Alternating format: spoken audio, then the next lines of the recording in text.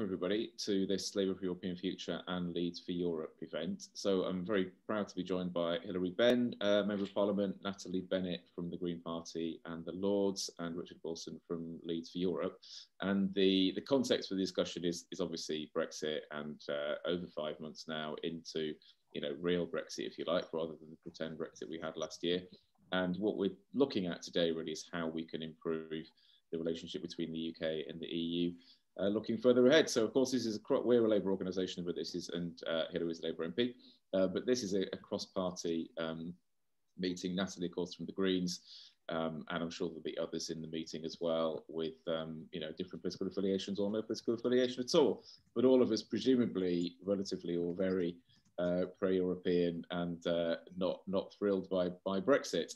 So I'm looking forward to what will be an interesting conversation. So the format will be uh, I'll go to the three speakers uh, first, and then we'll have time for Q&A afterwards. If you would like to ask a question, uh, you can either uh, raise your hand using the raise hand feature in the reactions uh, tab, or if you prefer, you can write your question in the chat, um, and I will ask your question at the end. And if it's to a specific person, then obviously put that in there. Uh, we'll get through as many as we can. Um, but without further ado, Hilary, I will come to you first. So we would we'd love to hear what you have to say. And thank you again for joining.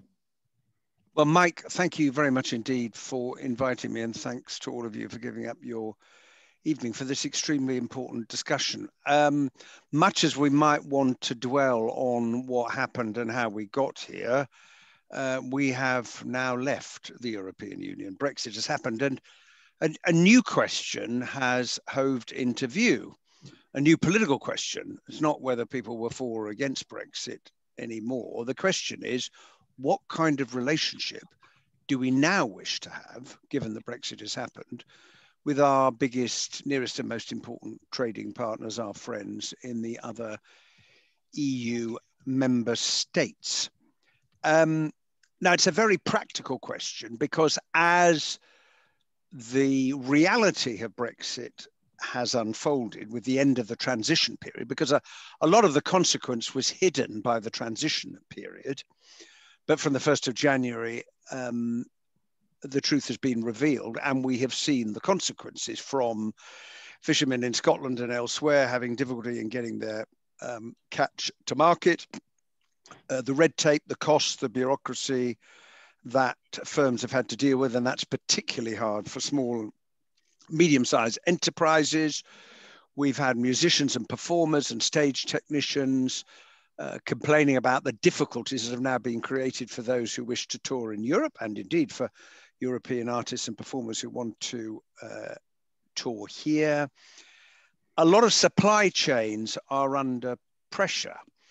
And to be frank, uh, I think in the medium term, we are likely to see a change in those supply chains because we've come out of an, an arrangement because of the single market and the customs union, where it was as easy to move goods from uh, Frankfurt to Leeds as it was to move them from Bradford to Leeds. Well, that is no longer the case. And and by the way, the one thing that hasn't happened yet is the application of checks on goods coming mm. into the UK. So it's been a one-way consequence uh, at the moment, and who knows what we will find when the UK government finally gets round to applying those uh, checks. There have been some changes already because of the way they have chosen to apply VAT, and that has led some European suppliers to say, well, I'm not going to supply the, Euro the UK market anymore.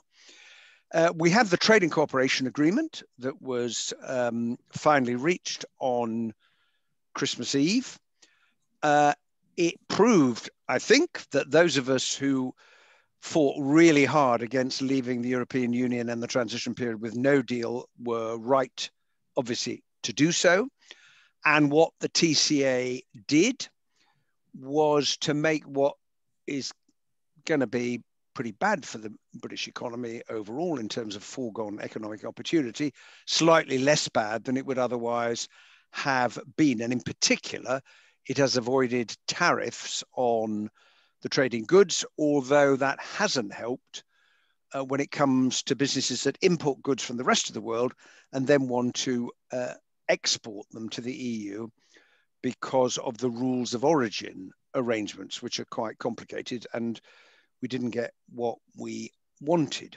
So I think the first thing I would say is that we need to use the provisions of the Trade and Cooperation Agreement, which explicitly recognizes the possibility of future agreements to supplement it between the UK and the EU to try and address these particular difficulties that we are now seeing.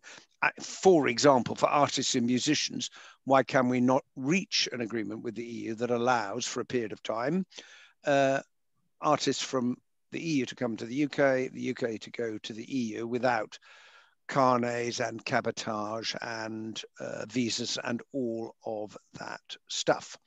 Secondly, we have the Northern Ireland Protocol, which is probably the most acute difficulty at the moment. Uh, we know the history of that. Um, it was originally offered to Theresa May, and she said no.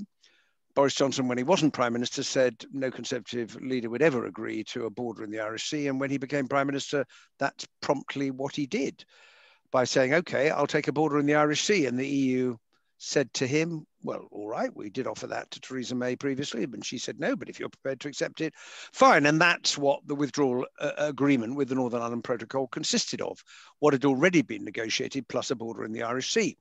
And now, in the last few days, we've had uh, ministers saying, implying, well, we weren't entirely uh, sure what we'd signed up to. I think it was pretty clear what they had signed up to. But that doesn't mean that there isn't a difficulty because of the political sensitivities of Northern Ireland, where we have seen uh, people doing checks in Belfast uh, walk away from their job because they are afraid. Uh, we have seen real problems in moving certain goods from uh, the GB to the Northern Ireland like seed potatoes or packages or secondhand tractors which have soil on them. And my view is that we have to come to a sensible arrangement with the European Union about how the protocol is going to be applied because the EU accepted in the negotiations that Northern Ireland is unlike you know anywhere else when it said um, we will have checks according to the risk that goods will enter the Republic of Ireland and through the Republic, the rest of the EU, because the one thing that everybody in the Brexit negotiations agreed on was that there could be no return to a hard border between Northern Ireland and the Republic. And so, if you take a, a, very practical example, a lorry load of goods from, say, Asda heading across the Irish Sea to go to Asda stores in Northern Ireland, should they all require an export health certificate? Well, um, those some in the EU say the rules is the rules is the rules. They've all got to have one. Um, I think that's wrong. I don't see what the risk of those goods entering the European Union is in practice, apart from someone from Donegal driving to a supermarket in Londonderry, filling up with their weekly shopping, and the goods might end up in a fridge or a freezer in a house in Donegal, but that's hardly going to be entering for general circulation the Republic of Ireland and therefore the rest of the European Union. And I think it's really important that the negotiators are able to reach a flexible agreement. And we, as strong supporters of uh, Europe and our membership of the European Union before we lost the Brexit referendum, cannot end up in the position where we're saying, uh, oh, yeah, we agree with Europe. The rules is the rules is the rules. Because I think that would be a profound mistake in my view, for us to do that. Because actually, the Northern Ireland Protocol puts Northern Ireland in really quite a privileged position. At the moment, that's not how it's seen by some people in Northern Ireland. We've seen the recent change of leadership in the DUP. Um, because once uh, it's working, the place in the United Kingdom where you would want to invest if you want to have access both to the GB and the EU market is Northern Ireland. So actually, it it, it gives Northern Ireland an enormous economic opportunity. But at the moment, the debate is with some people, well, the Northern Ireland Protocol uh, can't survive. And the final point I want to make, and I think on the checks, there is a, a perfectly uh, easily negotiated solution, which is an agreement on uh, veterinary checks. After all, New Zealand has an agreement with uh, uh, the European Union on this. And because we know that the UK government will not accept uh, automatically agreeing to sign up to all new European regulations and will not accept the jurisdiction of the European Court of Justice. That is a red line. I think the way through that is the way through the negotiators found to deal with the issue of the level playing field. And I think the UK government should say, we of our own newly sovereign volition decide that we will, for the time being, observe European rules. After all, that's what we've been doing since the 30th of December. They haven't changed. Um, we may decide to diverge from them in the future if a new trade agreement hose into view that we think gives us um, greater advantages, but there's no sign of that currently. And there's a reportedly a huge row going on in the government at the moment about whether agricultural products from Australia should get tariff-free access to the UK as part of a UK-Australia trade deal. And if the EU thinks that we are then veering away from that, it can take unilateral action against us. Now, that's what they did for the level playing field. I think that's the way forward on veterinary agreements. And the final point I want to make is this for anything to happen that will lead to sensible agreements being negotiated, uh, the politics in the UK and the EU has to change. In the UK's case, the government has to accept that it did not negotiate a fantastic agreement in the TCA. We all know it went for the hardest Brexit possible, but they've got to get over that and recognize all right, there's some problems here that we need to fix, and we will be open to a further agreement being reached. And on the EU side, the EU has to recognize okay, we've made the point that a member state that leaves is going to suffer and is going to lose out. Now we need to take a pragmatic view of building a better economic relationship in our mutual interest between um, uh, the UK and uh, the EU. And for those, and some may argue on the conversation today, that the issue at the next election should be rejoining the European Union. I don't think that's where the politics is, and I think I'll say that up front. And anyone who argues that has got to stand up first and argue for another referendum, because there's no question of us would there would be no question of us rejoining the European Union without another referendum. And again, I don't think that's where the politics are. Now, where the EU will be in uh, the years to come, where the UK will be in the years to come, who's to say? But for the time being, Brexit has happened, and we've got to negotiate a better relationship within the context of that change. Thank you. Thank you so much, Hilary. Uh, and uh, without breaking um, the sweat, um, we will go to Natalie Bennett. Thank you very much, and thank you for inviting me along this evening, and thank you for everyone who's giving up what certainly in Sheffield anyway is quite a nice sunny evening to be with us tonight. Um, and I join you in a very appropriate way because I've just come from another Zoom meeting, as one does these days, which was with the British chapter of the French Green Party. So I'm very glad to be at this meeting because I'm not having to display my terrible French uh, with a strong Australian accent. Um, and this makes life a great deal easier. Although that really reflects one of the first points I want to make because this is a meeting about rebuilding our relationship with Europe. And one of the things that all of us can do and that every single person in the UK can do is one of the things we have to do is strengthen, rebuild, create one to one relationships, relationships between towns and cities, twinning type arrangements, keep the lines of communication open, build new lines of communication. Because, of course, we tend to focus very much on what the government's doing. Um, and we can't control what messages Boris Johnson is sending out to the world, out to the west of Europe. And you the main speaker on the event I was speaking at was uh, Sandrine Rousseau, who's one of the candidates for the um, uh, French uh, for the uh, uh French uh, presidency for the Greens. They, they, haven't selected yet, and that's all very complicated. But um, she was t- she's very much identifies as an eco-feminist and talks about issues of feminism and issues of leadership. And she was citing, you know, cases of bad leadership around the world. And you can probably guess what was in the number one slot for her examples of bad leadership. Um, so we really have to make sure that all of Europe is hearing the message that what they might hear from Boris Johnson or the British government doesn't necessarily reflect the views of the people of the UK. And I think those personal relationships are really important and something that everyone can contribute to. Um, the other thing, I mean, I agree with a great deal of what Hilary said, so I won't track over the same territory.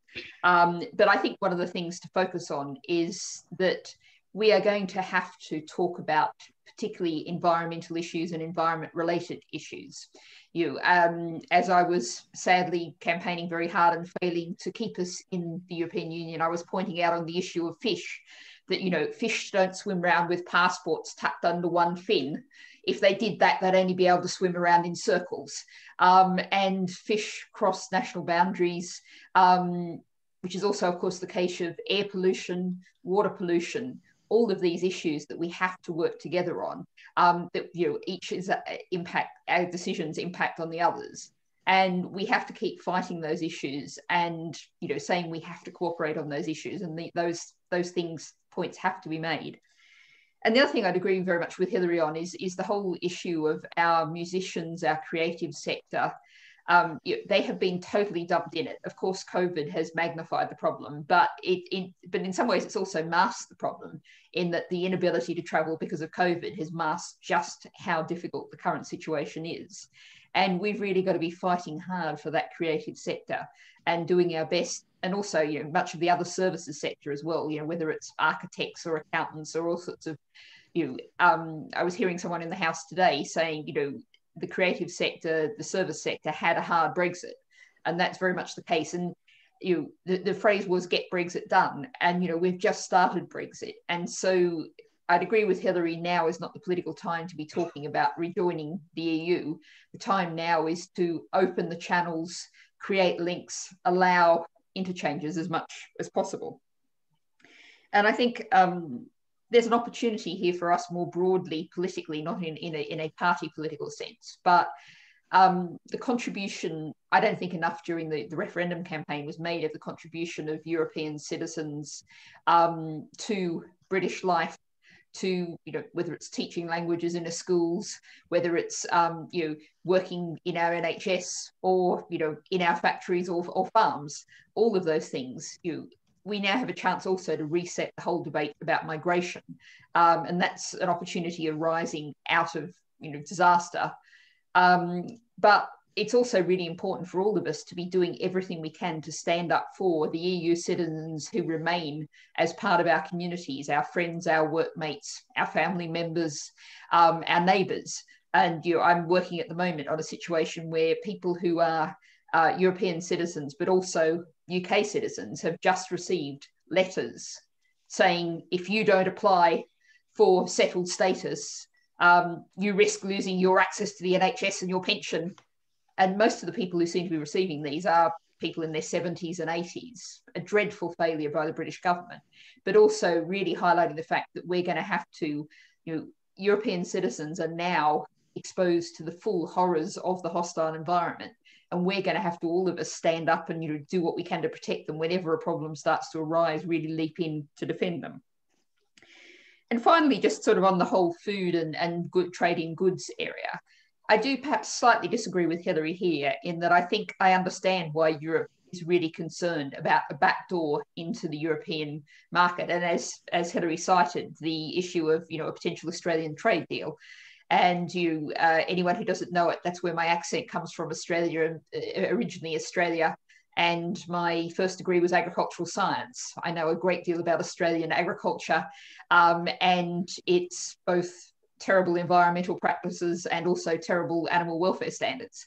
Um, and I can understand why the European Union, you know, is very, very cautious about arrangements that might let Australian produce in, or indeed, if we look at the US, um, I was looking at the whole issue of uh, the US is looking to start importing Chinese chicken.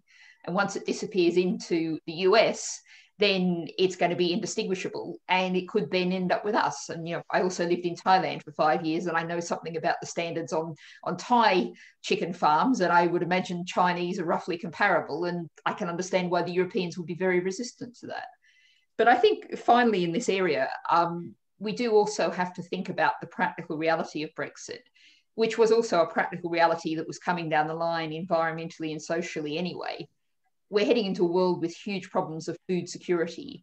Um, we have a responsibility to produce as much of our own food as possible, not to rely on you um, Spanish plastic um, greenhouses with employing workers under absolutely dreadful sta- you know, standards. We need to grow our own fruit and vegetables. We need to encourage um, a different kind of agriculture, one that doesn't rely on sort of your, your very young, very fit imported workers working hideous hours for very low pay.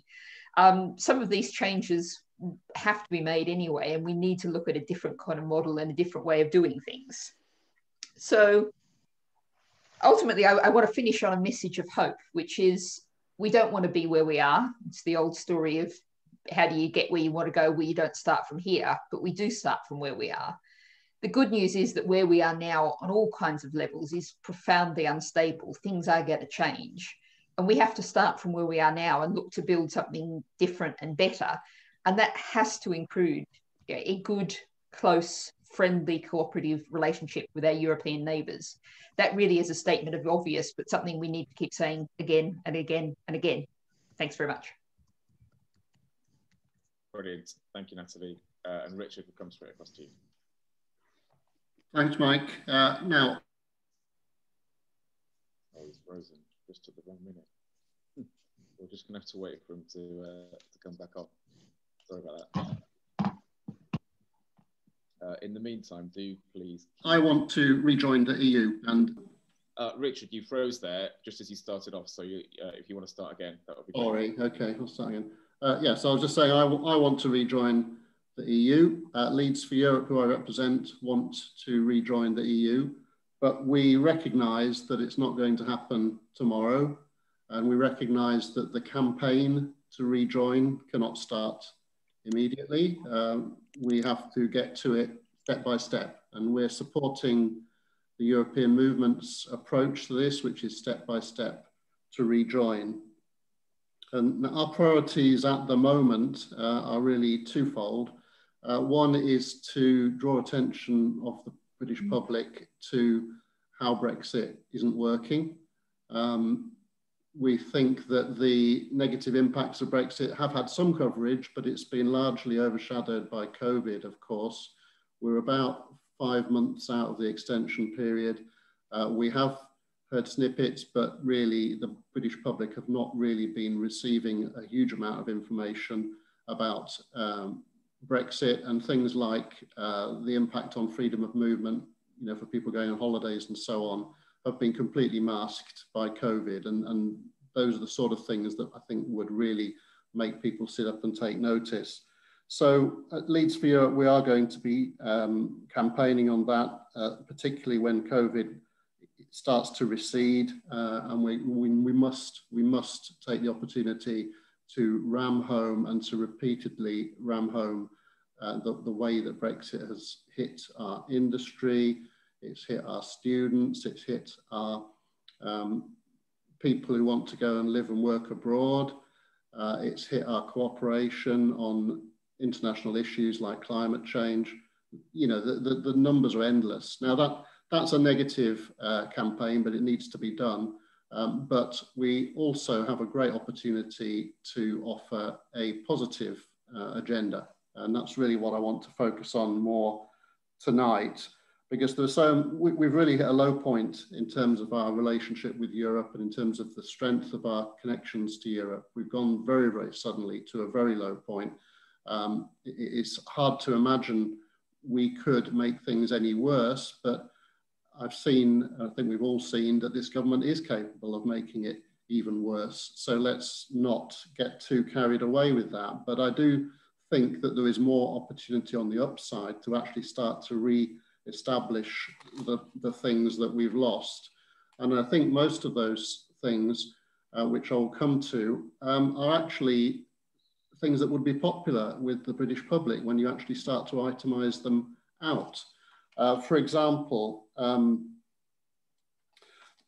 removing red tape. Um, you know, people don't like red tape, uh, and if you told them we're going to remove it, then they would generally welcome that. And we've got masses of red tape now in terms of imports and exports. Uh, we've got customs declarations, we've got certifications, we've got rules about rules of origin. Um, we've got goods being checked when they come, well, they're not, as Hilary said, they're not being checked yet, but they will be when they come in. We've got goods being checked when they cross the Irish Sea. absolute nightmare. And who would not welcome uh, removal as at least some or even all of those uh, rules and that red tape and that bureaucracy? Um, ultimately, you know, I'm, I'm hinting at if we were able to go a long way along that road, we would be looking at uh, re rejoining the customs union as a basic thing, which I, I, honestly think the British public would welcome that and businesses would welcome it. Uh, and I would, um, incidentally, it would solve the Northern Irish problem at a stroke as a byproduct. Um, just a bit of a more down to earth thing and, and something less contentious. Uh, something that we're doing in Leeds for Europe is we're looking at re-establishing cultural connections with Europe. Um, we're really keen to press twinning and uh, exchanges. We're working with the City Council on this.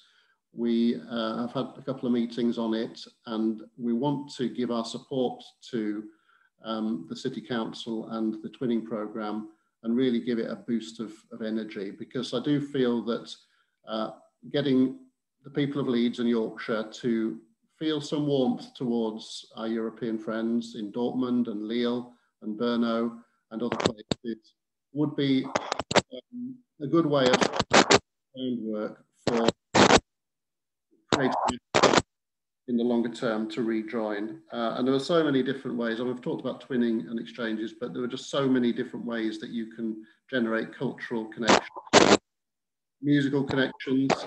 Someone's.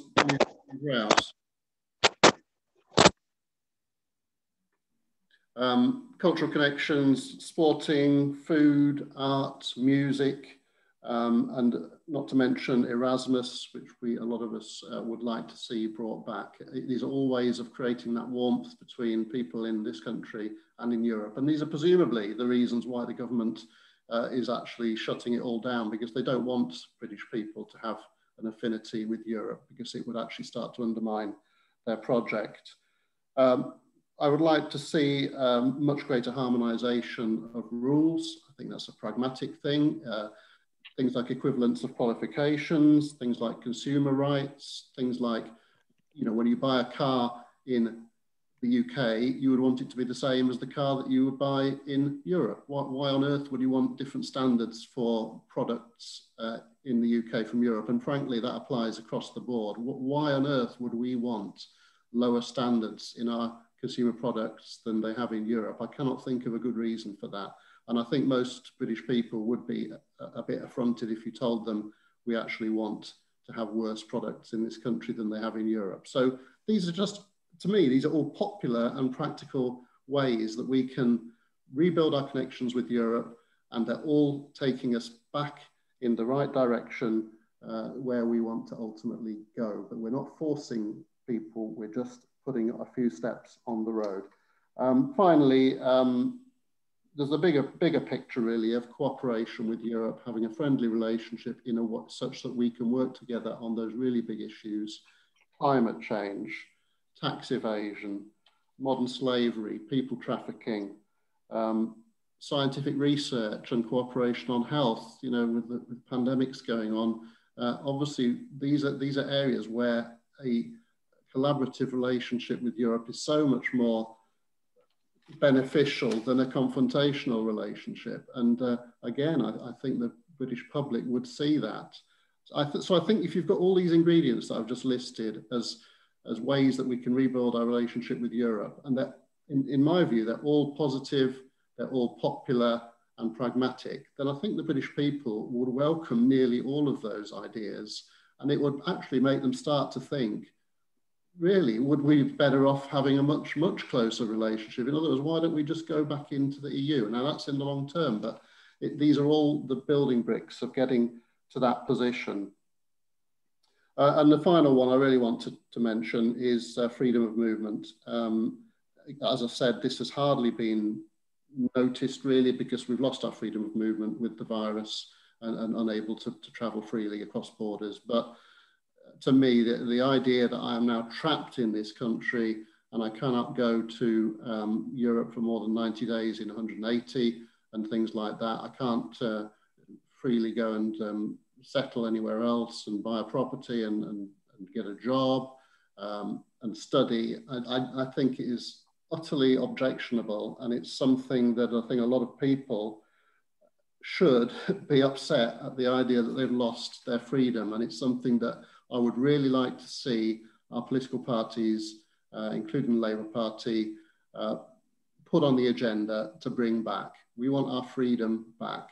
We want our freedom of movement back. And I know that um, people don't like immigration, but they need to understand there's a flip side to that. And we have absolutely shot ourselves in the foot by taking away our freedom of movement. So um, fundamentally, um, I am sort of looking at Hilary here, but also Natalie, to say that in my view, you could create a really positive agenda for your parties if you adopted some of these ideas. Uh, I think it would show the public that you have direction, that you differentiate yourself from the Conservatives, and that you have a really strong positive vision for the future of the UK. Um, I think that what that would achieve for our country is that it would reverse the direction of travel that we have experienced over the last five years, and it would actually start to move us towards Europe instead of wrenching away. That in itself would be a, a positive move. It would just be swinging the pendulum back the other way.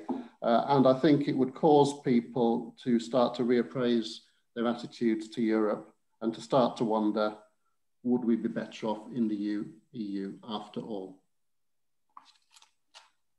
Brilliant. Uh, thank you so much, uh, Richard, and also to Natalie and Hilary once again.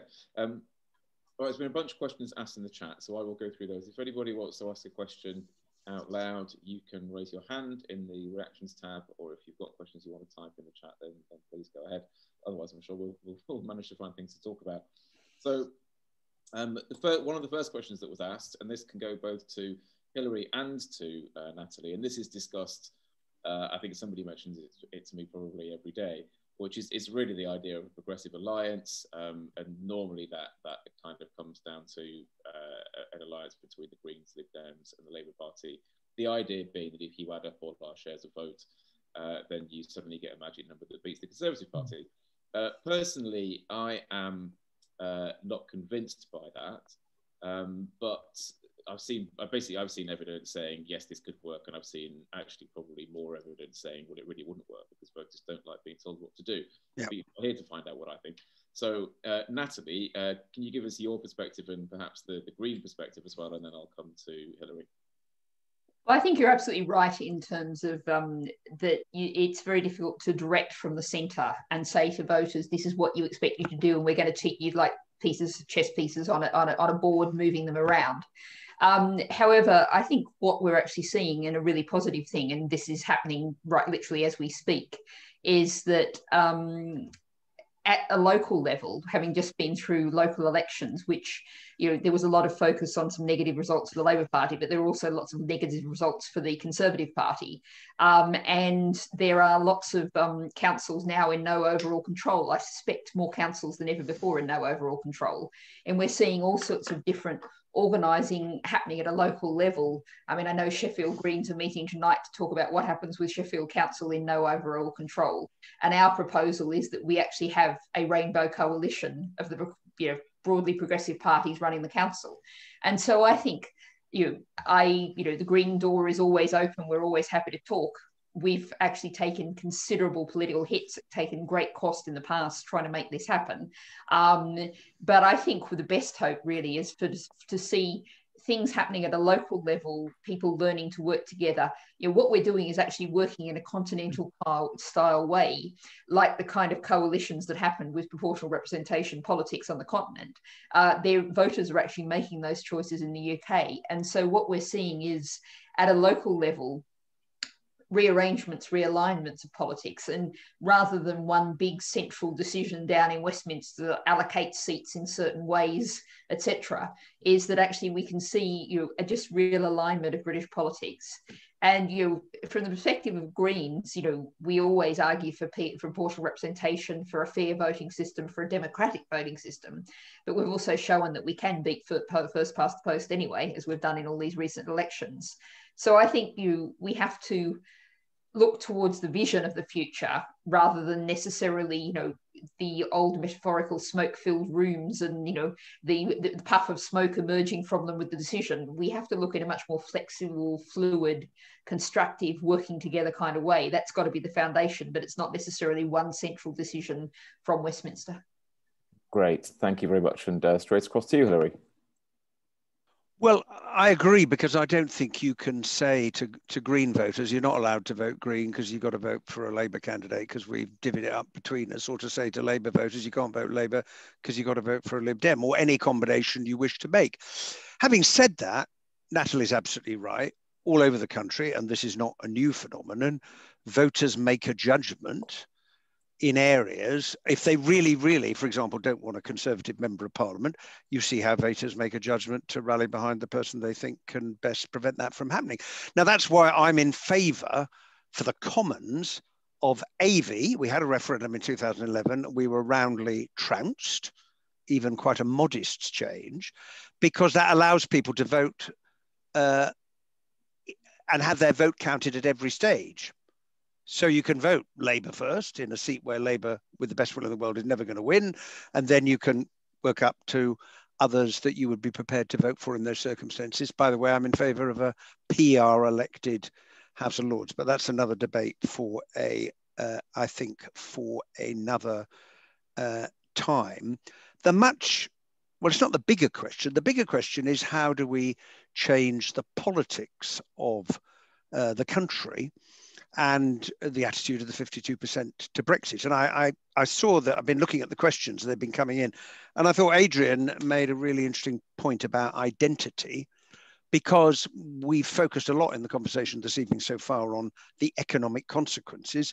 But let's be frank, there are a lot of people who voted for Brexit who said, um, and I had conversations like this, I don't care what the economic consequences are, getting my sovereignty back is more important than that. And we are living now in an era in which there are two great forces at work. In Britain, in Europe, we saw it in the United States of America. On the one hand, is the cry for devolution, independence, sovereignty, control. Because people have seen, particularly those who feel they've been left behind by change, uh, think, well, I've had no control over this. So when someone turns up and says, uh, would you like a bit more control over what happens in your life? Don't be surprised if people say, yes, please. And on the other hand, the absolute necessity for greater cooperation between nation states to deal with climate change, trade, threats to peace and security, environmental refugees. And the Brexit referendum for me was about the balance between the two, because like all things in life, our own relationships, the natural environment, climate change, that's a consequence of getting the balance wrong. And I think the same is true here. And I also think that there's a lesson for the European Union because anyone who thinks now the UK's left, the EU will go back to ever faster, closer, deeper union. I don't think that's where the politics is in is in a large number of EU member states. And the, one of the really interesting questions is how the European Union is going to evolve over the years ahead. And I am in favor of President Macron's approach. He referred to concentric circles, where you have degrees of cooperation, because that is a way, it seems to me, of encouraging more people to be part of the enterprise rather than saying you've got to sign up to all of this. And after all, debate. It's been raised in the questions. If we rejoin, are we going to have to join the euro? And I think not joining the euro was the right decision for the British economy. Thank goodness for Gordon Brown. Great. Thank you, Hilary. Um, right, let's move on to some more questions. Uh, Kate Freeman, you have your hand up, um, so I'll come to you.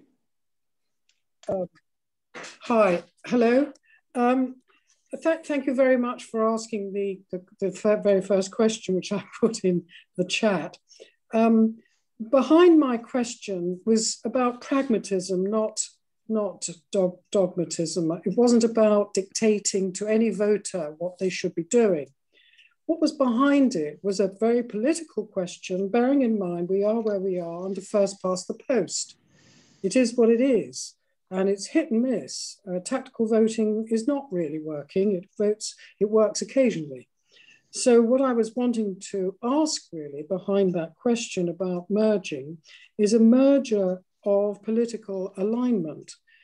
uh, we can't uh, say that, you know, the Greens are very distinct from Labour and vice versa. When it comes to green policy, you've both got very strong green um, hopes and ambitions. Socially, not that far apart, you can influence each other.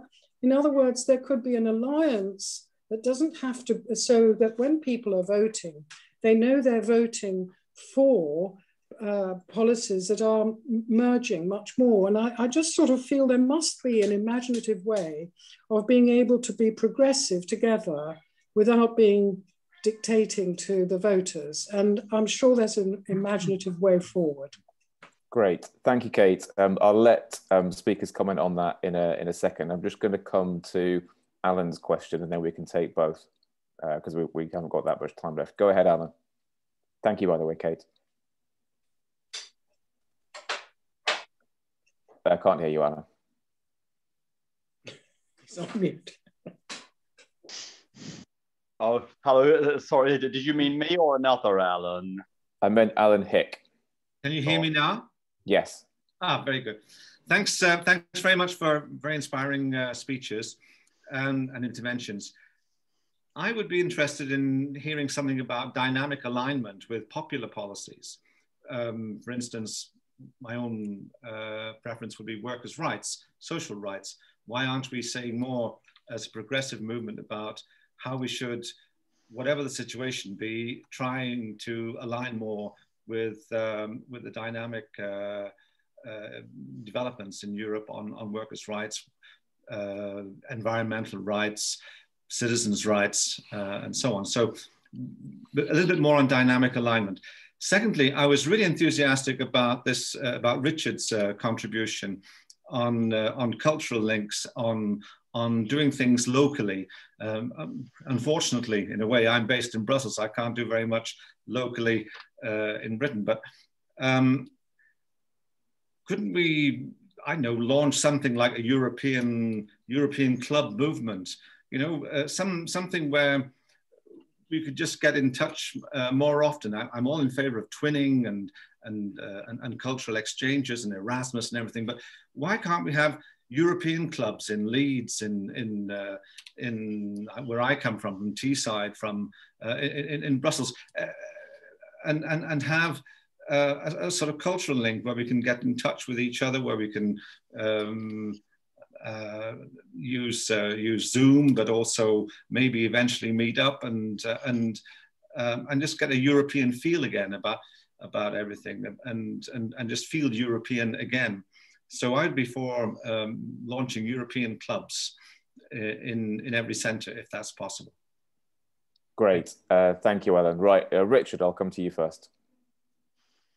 Thanks, Mike. Um, um, I didn't actually see Kate's question exactly as it's worded, but I'll try and guess from what she said. I mean, it was basically if if Labour and the Greens are um, have such similarities in, in many areas, why don't they collaborate or cooperate more closely in a progressive alliance type way?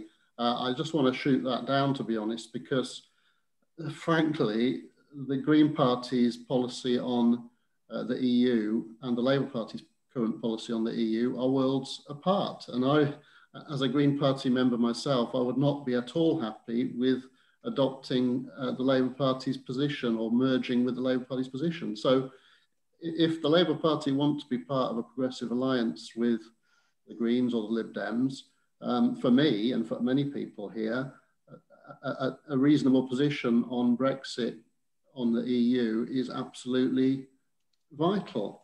Uh, otherwise, I don't. I, I, I think it's questionable whether you can call the Labour Party a progressive party in respect of Europe at the moment. I'm afraid. I'm sorry to say that at a Labour for a European Future event, but you know that, that that's that's how a lot of us feel.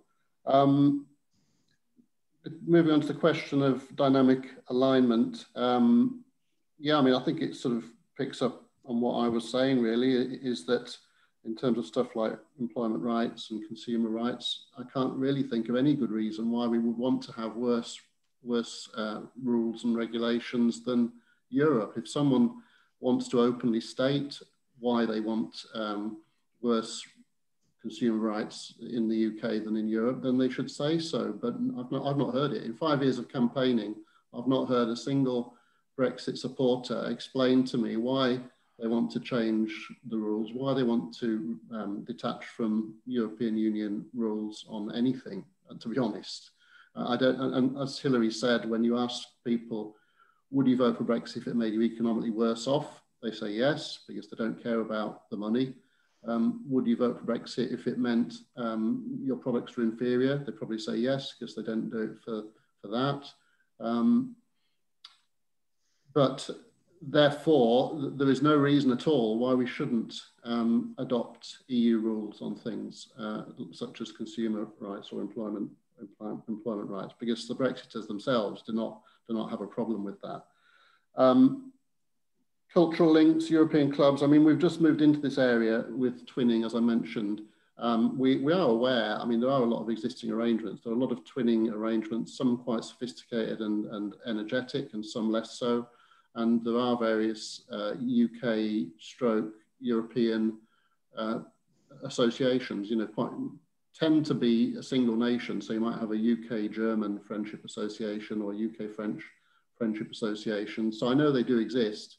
Uh, we're trying to build a bit of a directory of them, to be honest. I'm working with the European movement on this, and we're trying to collate information about all of these type of relationships that exist, and, and therefore perhaps look to fill any gaps and to and to stimulate the whole the whole movement. Um, I think I'm not sure if there's a, such thing as a, a UK Europe club, which is a nice idea.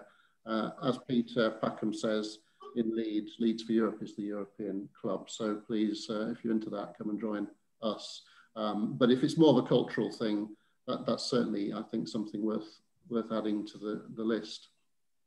Great, thank you, Richard. Right, I'm going to come to Hilary with a couple of Labour questions, if that's all right. Okay. Um, so uh, a number of people have asked similar questions. So one person asked about Keir's position and why he isn't more outwardly uh, pro-European. Uh, someone mentioned uh, Andy Burnham the other day saying that we need to embrace Brexit uh, and asking why he isn't isn't more pro-European. Uh, and then probably in, in a way, probably a question that lies somewhat at the root of all this is, is how does Labour appeal to both Leave and Remain voters? And I suppose the second part to that question is, will, will Leave and Remain voters even be relevant once we get to 2022 or 2023? So, so I guess in a way, the question is, how does Labour win the next election, Hilary? Well, that is the 64 thousand pound or dollar uh, question. Given the look, Brexit split the nation right down the middle.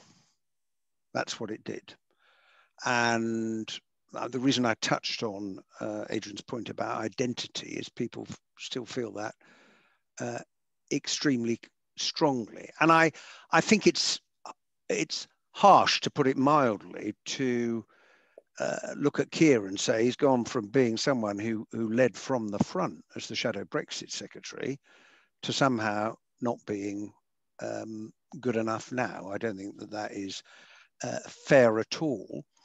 And I think he is taking the right approach and he's spoken out about it. Rachel Reeves has done so when she was at the Cabinet Office. Uh, I have done so and others. It's how you start the process of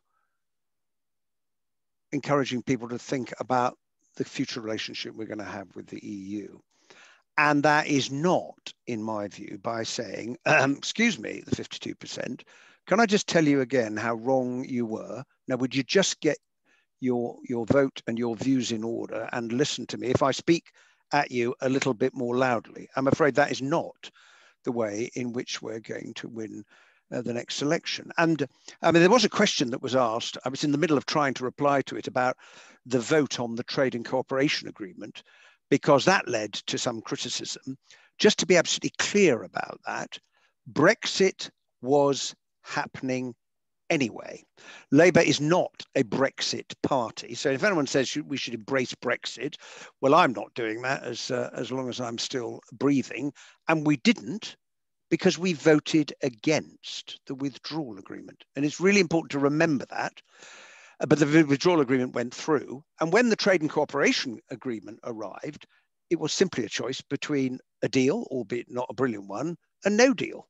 And having bust a gut and taken a lot of criticism and abuse from people for campaigning to prevent no deal, there was no way I was voting to enable no deal to happen.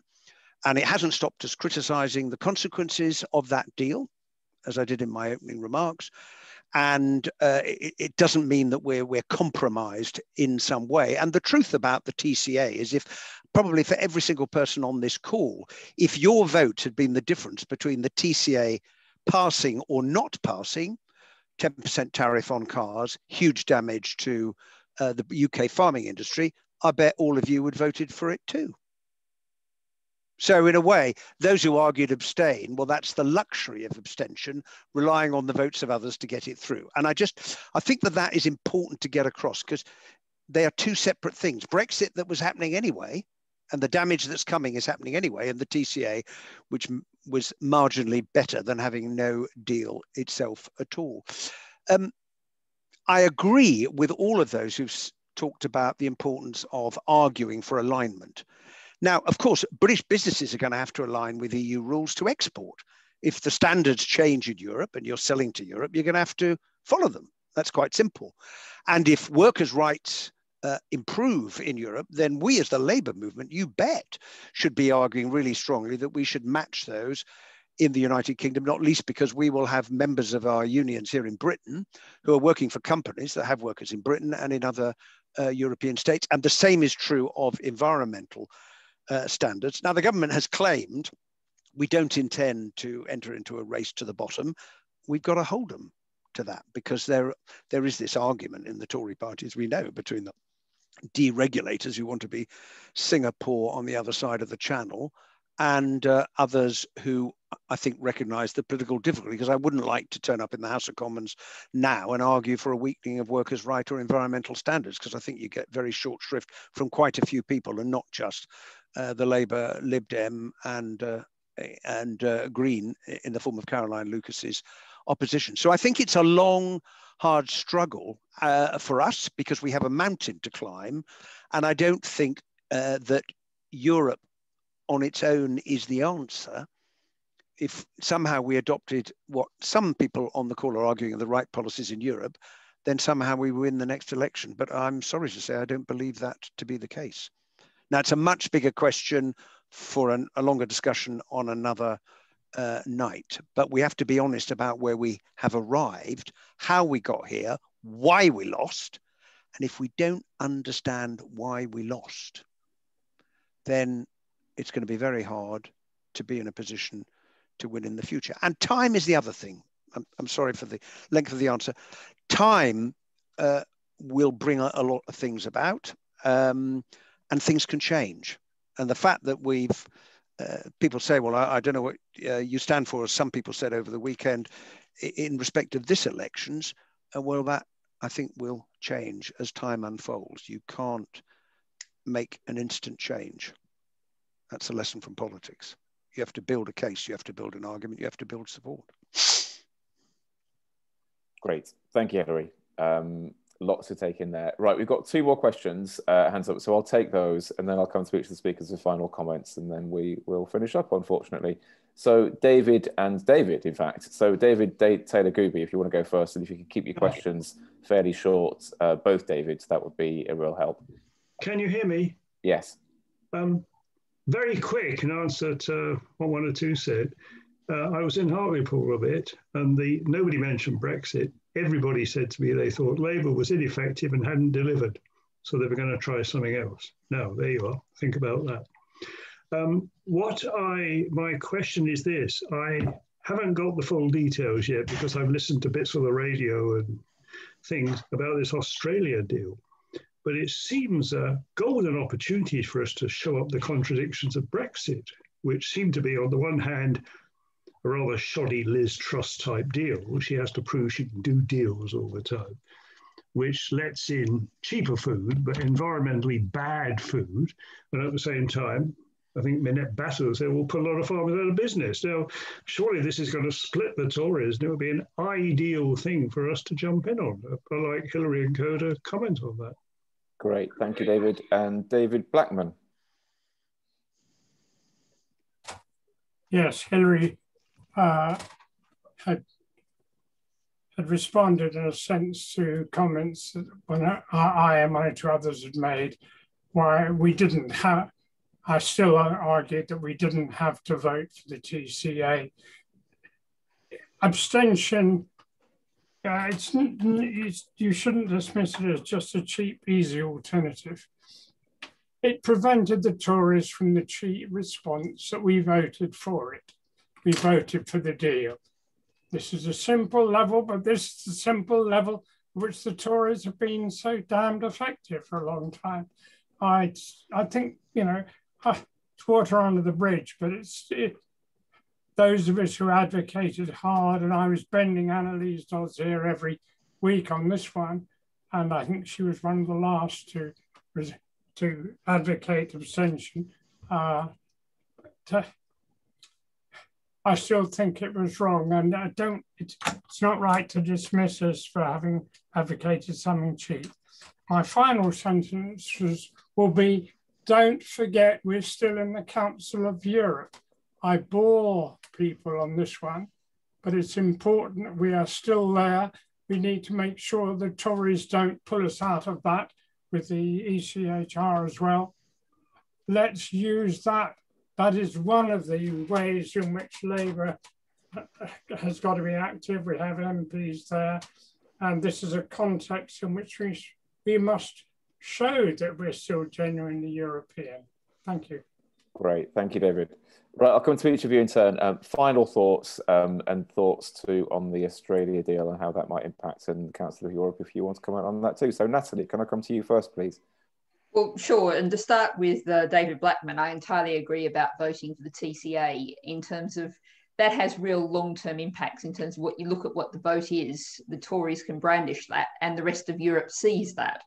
Um, and picking up on the um, uh, Alan Hicks question about workers' rights and dynamic alignment, I'm somewhat less sanguine than Hilary about how difficult it's going to be to hold the line on what we've even got now, the standards we have now. I mean, the House of Lords, very weirdly, is now the centre of political resistance in Westminster. If you look at what happened, for example, in the Internal Market Bill, it was actually um, when the government just casually said, oh, we're going to break international law, it was actually through the leadership of the former Lord Chief Justice. Um, who very, very unusually uh, from the crossbenchers, from the non-party position, came out in at the committee stage and got voted down the breaking international law parts of the internal market bill. And it was resistance in the lords that was a major factor there. And we've been fighting you know, with the backing of things like a petition 1.5 million people have signed uh, led by the NFU, you know, as Labour backing, as Tory backing a, a kind of organisation, as you can imagine, um, fighting to put clauses into the agriculture bill, the trade bill, um, the internal market bill to protect the standards we have now, let alone reach towards dynamic alignment. And the government, while keeping saying, oh no, we're going to do it anyway, just refused, utterly held the line to keep those standards out. And the Australia deal, you know, is trade deal is a very clear reflection of that. And just to pick up on a couple of other points, um, I mean, it was Richard who said that you know there is very major differences in the position between the Greens and the um, Labor Party on Europe and on other things. Um, and you, we are in favour of rejoining the customs union. Picking up a comment in the uh, the chat from Roger, you, the impact on small businesses in the UK seeking to export has been absolutely enormous, and the customs union would deal with lots of those problems. The problems in terms of the border down the middle of the Irish Sea, etc. Um, and just picking up lots of the comments about cultural exchange. I mean, that's what I started my comments on. And someone else in, in the chat was saying, you know, focus on the plus part of Erasmus Plus. And that's where you know, I've put down written questions to the government. Um, yes, we're talking about sending students overseas with less financial backing than they had under Erasmus, but we've entirely lost. And I have answers from the government just saying, oh, tough luck about the kind of exchange of teachers, exchange of lecturers, things that happen under Erasmus Plus that we've just lost entirely. And we've got to fight to, if we can't get them from Westminster, fight to build them up at a local level. So, and I really sort of want to finish with, with some of the things that Hilary said, both that I agree and disagree with. I think we absolutely have to listen to the people, the 52% of people who said they wanted to take back control in 2016. And right along the way, I said, yes, we have to understand the reasons for that. But the reasons for that don't rest in Brussels. They rest in decades of British politics, where we've had dominance of multinational companies, where we've had the privatisation of, of right to buy, where people have seen power and resources concentrated on Westminster and taken away from local regions, you know, something that's very evident across Yorkshire. Um, and so acknowledging that people were absolutely right to be angry, totally right to be fed up, um, but offer them different positive alternatives. And you know, the practical reality is that um, there's a very good chance we will see um, Scotland become independent very soon. Wales is now indie curious. That's talking about people taking back control, local control. Um, we've got to build. We're going to have to face a very different United Kingdom. We have to try and do that positively while also maintaining, you know, decent relationships, being decent neighbours to um, the rest of Europe. And you know, we have an authoritarian far right government now. Um, that the Tory party is now the UKIP Brexit party. That's who's in control. And again and again, it's been shown that there is resistance in the Tory party, and the Tory party, I think, is every bit as unstable as the Labour Party is. Um, you know, we're in a state of flux. So let's be positive about looking at building a different sort of Britain that has a very different kind of relationship with the EU and a relationship that's as close as possible. Brilliant. Thank you so much, uh, Natalie. And Richard, come to you, please, next. And then finally, I'll come to you, Hilary, in a minute. Thanks. I'd like to concentrate mainly on that question uh, how does Labour win the next election? Um, I mean, from my perspective, the, the problem for Labour is that they're putting the cart before the horse, that they're, they're seeking to cobble together uh, the votes that they, they think they need to win the next election um, before they actually decide what it is that they, they're offering um, in terms of the product, in terms of the, the vision. Um, I think you should spend next year or two getting the vision, which is in line with Labour values and the values of, of the people who historically and in the future will support the Labour Party, and then and then start to sell that vision. Uh, to me, that's the right approach to politics, especially when you have a little bit of time before the next election to do that. Um, just turning to the sort of raw sort of tactics of of getting that the number of votes.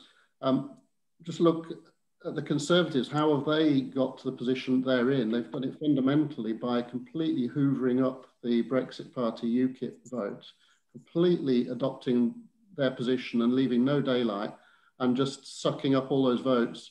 And that's fundamentally why they got the huge majority they got in December 2019. Uh, on the other side, we've got Labour, SNP, Lib Dem and Green, fragmented votes.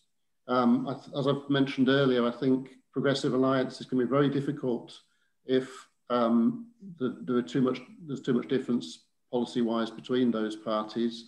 Um, and from my point of view, particularly in respect to Brexit, but you could also talk about voting reform as well, whether the Labour Party are willing to um, move on that. Uh, if they were, then I think that might open some possibility for progressive alliance. Uh, but if, if, the Labour, if Labour wanted to learn a lesson from the Conservative Party, it would be to hoover up the votes of the progressives um, who are currently in a bit of a quandary and are drifting away to the Greens and the Lib Dems. I shouldn't say this because this would be against the interests of the Green Party that I'm a member of, but you know, to me, it seems obvious that the Labour Party, if they were able to uh, be attractive to members of the Green Party and the Liberal Democrats, then they could do on the progressive side what the Conservatives done on the non-progressive side. And that is probably the only way that Labour are going to get, uh, or that the progressive side are going to be able to overpower um, the position that the Conservatives have put themselves into. Um, so I think that's all I've got to say, really. I mean, you know, I've been quite critical and I feel bad this is a Labour for a European Future event and I've been quite critical of the Labour Party, but I think I'm just uh, uh, expressing the views of my group, Leeds for Europe, uh, and, and the frustration that we feel and that we've felt over the past five years um, that, that nobody um, in a major party is representing the almost 50% of people who did not support Brexit. Um, the people who support Brexit have plenty of um, oomph in terms of political representation, but those of us on the other side have had very little, unfortunately. Great, thank you, Richard. And honestly, no need to apologise. We we we came here for a discussion between people with different viewpoints, and that's that's the value of tonight's webinar. So thank you. It's good. We need to know what people think. Certainly, I, I do as a as a committed Labour person and a committed European. Uh, and last but very much not least, Hilary, uh, we'll come to you, please, for um, any thoughts on the Australia deal, and then final comments. Uh, Mike, thanks. I was also going to say to Richard, there's no need to apologise because hearing people being critical of Labour defines the experience of having been a Labour Party member since I was 17 years of age, when I joined the party in uh, in Kensington. So uh, that is in the nature of the enterprise because all parties are coalition, and there's a, always a lively debate about what the right approach is. And when you're winning, there's slightly less debate, and when you've lost badly, there's slightly more debate because everyone has a different uh, view. Um, I would just, uh, Natalie, you referred to the dominance of multinational companies. Just to make a point that because we were members of the EU, it was multinational companies that revived the British car industry. And they're now turning to making electric vehicles.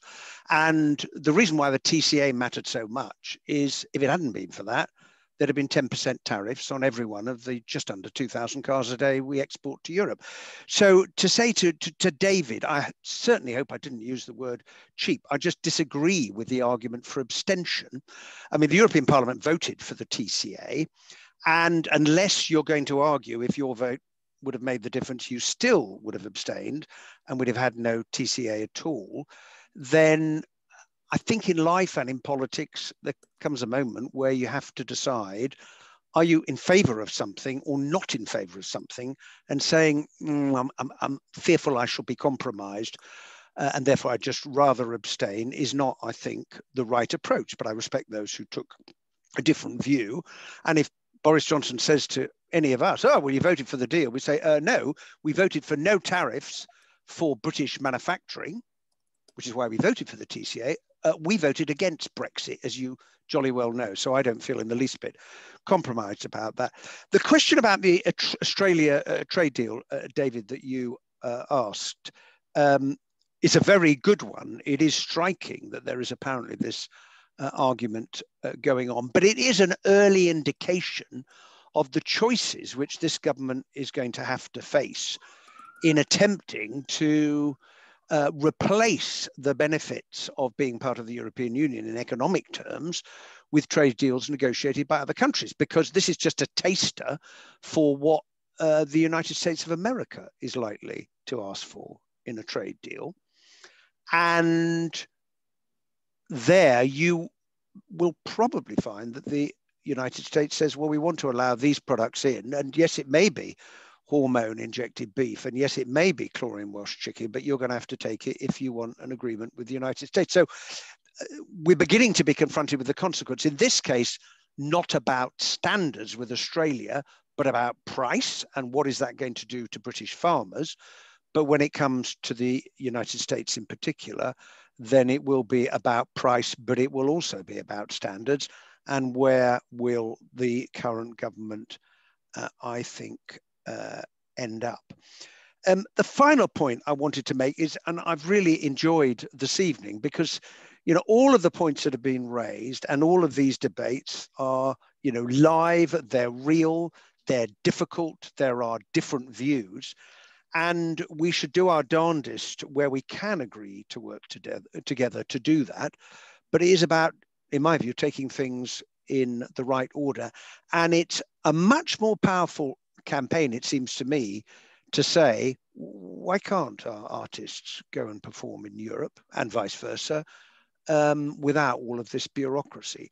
Why do firms have to fill in all of this uh, paperwork? Why do you need export health certificates when you're just moving goods from one supermarket chain to a supermarket in another part of the United Kingdom?